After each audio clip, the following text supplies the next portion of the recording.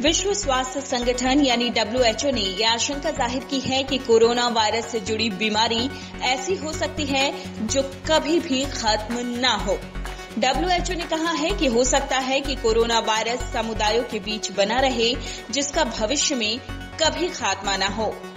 विश्व स्वास्थ्य संगठन के हेल्थ इमरजेंसी प्रोग्राम के निदेशक डॉक्टर माइकल रयान ने कहा है कि जैसे एचआईवी खत्म नहीं हो सका, वैसे ही कोरोना वायरस भी हमारे बीच बना रह सकता है।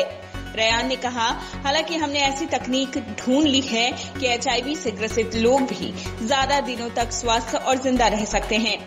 उन्होंने ये भी कहा कि कोरोना वायरस को लेकर हमें यथार्थवादी होना पड़ेगा, क्योंकि हमें नहीं पता कि ये बीमारी कब खत्म होगी। डॉक्टर रयान ने कहा कि अगर हम कोरोना वायरस की कोई कारगर वैक्सीन इजाद कर लें तो दुनिया में हर आदमी को मिल सके, जिन्हें इसकी ज़रूरत है तो संभव है कि ये बीमारी खत्म हो जाए। हालाँकि ये वैक्सीन कब और कैसे बनेगी, इसके बारे में उन्होंने कुछ नहीं बताया।